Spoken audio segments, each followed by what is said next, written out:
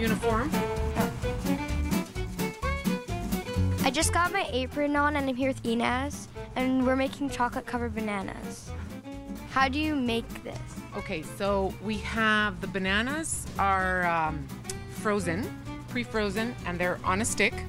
Okay, so we're gonna freshly dip them into melted, nice melted chocolate.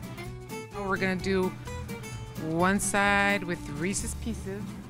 We're gonna do the other side with peanut butter. She wrote fringe on my banana. Do you guys have a lot of toppings? We do. We have a bunch of toppings. We have Oreos. We have marshmallows, Reese's Pieces. We have uh, granola, peanut butter, peanuts.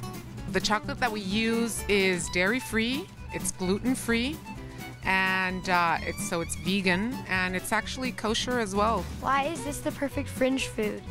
Um, because it's fun. It's kind of healthy and it's delicious. You can't miss out with uh, chocolate and and bananas. It's just like perfect match. And it's cold too. And it's cold. Yes.